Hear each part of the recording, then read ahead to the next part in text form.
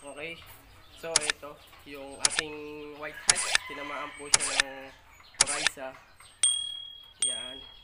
So, second day na po to ng gamutan. So, hindi ko lang po na-video si brown out lobat yung cellphone. Ayan. Um, bibigyan natin siya ng Doxy. Yan bibigyan natin, Doxycycline. So, tapos, every morning, pinapaliguan ko po siya ng safeguard. Safeguard. So, susubuan muna natin ng isa. Para kasi kung ano, mawala yung bacteria sa katawan niya. So, paliguan natin. Dito.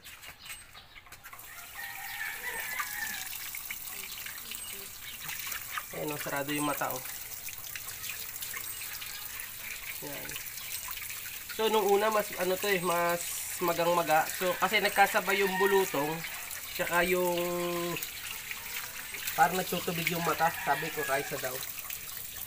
So, tapos, ayan o, oh, yun yung mata niya. oh. Ligong-ligo yan, ligong-ligo. So, observe natin within 5 to 7 days po yung gamutan nito. So kahit na yung iba kasi naka-recover na doon sa bulutong. Yan.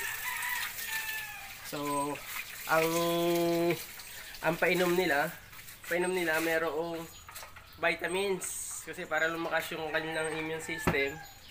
Tapos meron tayong ito yung probiotics natin nakahalo dito sa vitamins, vitamins na tinunaw, tsaka yung probiotics. So ito ang nagiging sistema niyan. Sige. Dito tayo dumaan. Oh, nabangga po yung ating